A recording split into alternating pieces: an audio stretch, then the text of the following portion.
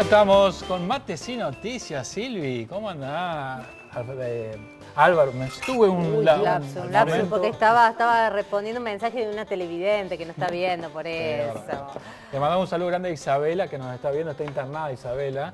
Y junto con las enfermeras nos están viendo en Crónica Matinal, así que muchísimas gracias y abrazo grande, que te Sí, recuperes. Y mucha fuerza para Isabel y su familia. Sí, bueno, y saludamos a Álvaro y a Mónica. ¿Cómo les va? Hola, ¿cómo están? Buen día. ¿Todo bien? ¿Cómo están? Ya estamos recibiendo un montón de mensajes al 351-564-4048 y el tema que queríamos tratar, y por eso lo Sí. invitamos, vacaciones de invierno. Veíamos la terminal de ómnibus y algunas familias van a poder viajar, otras se quedarán en casa y hacer planes lo más gasoleramente posible. ¿no? Sí, creo que en estas vacaciones de julio lo más importante va a ser la economía.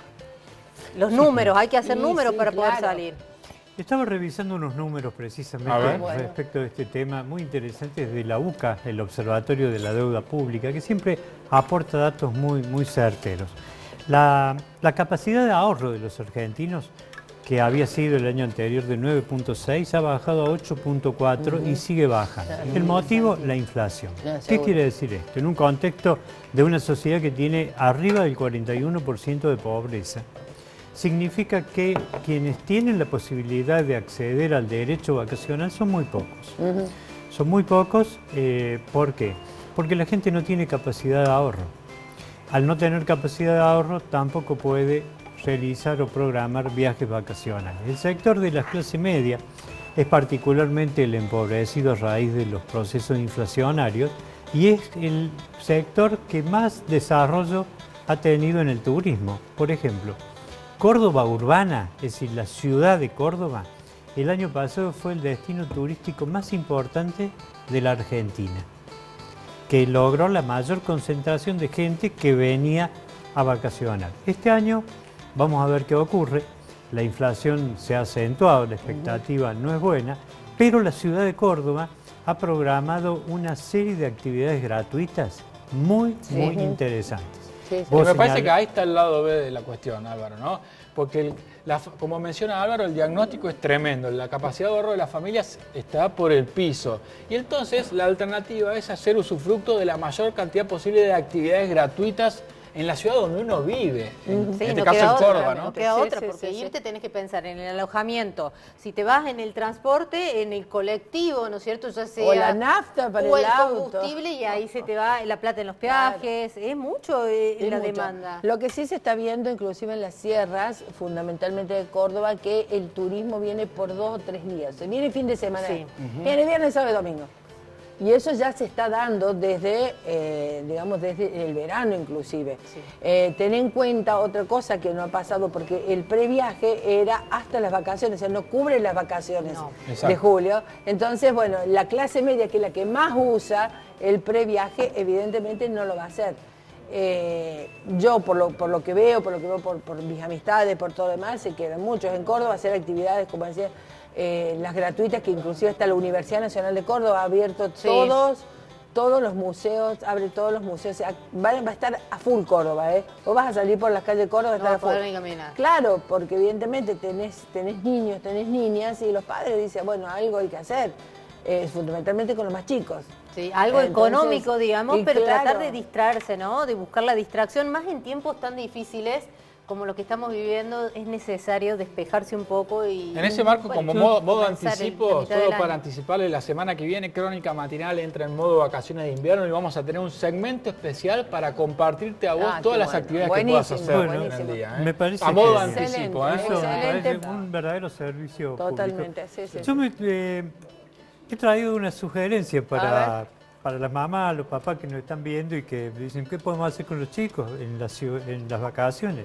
Tema importante. ¿eh? Claro, es lo que yo digo. Importante. Porque viste que lo- lo- los adolescentes y las adolescentes, ellos se arreglan ellos, ¿viste? Sí. Están de vacaciones. Les pero paso- Niños sí. y niñas. Les paso unos datos. A ver. Para la- las mamás preocupadas.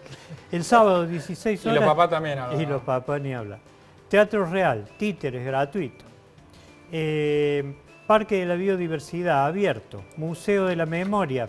A ver. Más manzana jesuítica, completa, con paseos guiados por la Secretaría de Turismo, gratuitos. Jardín botánico abierto, con actividades gratuitas, incluso conciertos, música. Ya quedó bellísimo el jardín botánico. Ay, qué lindo. Feria de la hermoso. Dulzura.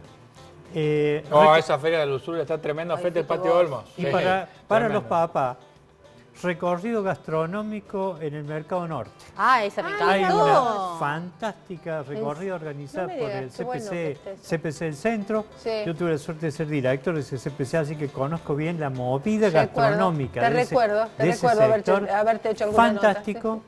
Y se los recomiendo todo porque hay opciones para todos los bolsillos allí. Gastronómica, desde nivel internacional que pagan en dólares hasta la gastronomía más simple, pero verdaderamente recomendable. Es decir, ¿qué quiero decir con esto? La red de museos to- toda abierta. Toda la de la universidad, toda. Que toda, no me- abierta, toda, la toda. municipal también. En, en ese marco, Álvaro, disculpame que te interrumpa. Abro el WhatsAppero de Crónica Matinal Dale. 351-564-4048. Nos escribe Walter, dice, buen día a los no tóxicos, por Crónica Matinal, ¿no? Y dice lo siguiente, sticker emoji con los ojos bien abiertos, dice, vacaciones no tengo, tengo que laburar, no queda otra, nos dice Walter por WhatsApp, que esa es la realidad de muchos, ¿no? la que no realidad tienen día de muchos. Ah, pero en vacaciones. realidad el problema. Pero otro es- mensajito claro, más, otro mensajito más. Gabriela dice, Gabriela dice lo siguiente, hola Andrés, yo ya planifiqué llevarlos a los Messi que tienen nueve años. Mira lo que decía Álvaro. Al botánico, que dice Claro. que lo reformaron el jardín Sí, botánico hermoso y, sí, y tiene nuevos circuitos. precioso. El Museo de la Industria, que está en Barrio General Paz. El Museo Urbano de la Plaza España. Ah, yo tampoco lo conozco, que está por debajo de la Ah, plaza. no, ah, yo sí lo conozco porque fui a hacer un móvil en vivo. Es precioso. ¿Sí, es muy lindo? Vayan, es muy No, no lo bonito. Y el Teatro cuadros. Comedia, dice Gabriela. Bueno, hay que no, se olviden, planes, ¿eh? no se olviden de los observatorios astronómicos de la Universidad Nacional de Córdoba. El, el que está, van a estar abiertos con, con muchísimas actividades también gratuitas, sí. la Plaza Cielo Tierra, y además te podés ir hasta Bosque Alegre, que van a hacer actividades especiales diurnas y nocturnas. Y acá Pero- me pongo, me Está pongo bueno en, un, en un sentido como, Sí. como padre, ¿no?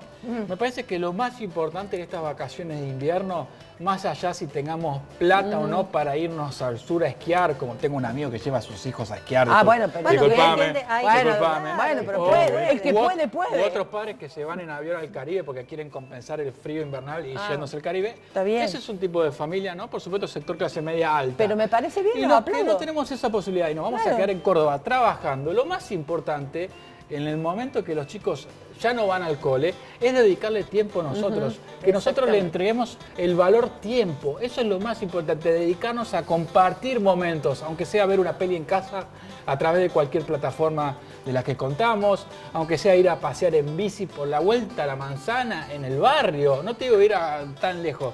El tiempo es el valor más importante que le podemos dedicar a nuestra familia. Bueno, mira, y ahí lo que Quiero estabas dar- diciendo, sí. encontré un lado positivo de la crisis. Está bueno, ¿no? Volver a, a restablecer las relaciones sociales, volver a restablecer esos momentos, disfrutar de los momentos en familia. Es muy importante. Quiero dar un dato más A ver, que es muy, novedoso, yo lo he usado, por eso lo recomiendo. La ciudad, la ciudad de Córdoba ha inaugurado un sistema por WhatsApp que se llama Vecinón. Claro, sí, sí. Vecinón. Ajá. Bueno, yo ya- es un bot que ha puesto Sí. la municipalidad.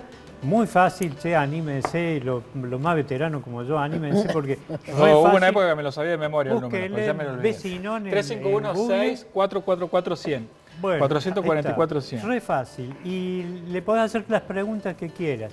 Entonces, para aprovechar todos los circuitos gratuitos Claro. para las vacaciones de julio, sobre todo orientados a los chicos Claro. y a los jubilados, aproveche Vecinón, úselo porque está genial. Buenísimo. La reserva, la reserva San Martín también me estaba olvidando que hace visitas guiadas para toda la familia, conociendo las especies, las especies que hay allí, entonces los árboles y Claro. bueno, todo lo demás. Y es una salida ¿Dónde maravillosa. El Parque de la Biodiversidad también, Eh, allí ubicado en no, pleno no. corazón de Va a Parque haber- va a haber- Sarmiento. creo que también va a haber espectáculos ahí. Sí, entonces, bueno, te sí. llevas algo después, te vas al Parque Sarmiento y te tomas unos mates, está bueno, una Se buena pone en movimiento la rueda de Eiffel todos los días a las 19 horas Ah, vos lo y va a haber no, yo no lo he conciertos musicales. Claro. Por un mira, lado, por WhatsApp nos escribe Luis, le mando saludos a Álvaro, se ve que te conoce Luis. Por otro lado, Marta Tocherí dice, muchos hablan y hablan del empobrecimiento y la menor capacidad de ahorro, pero los fines de semana se- largos se mueven millones de personas. Es que hay varios que- países, claro.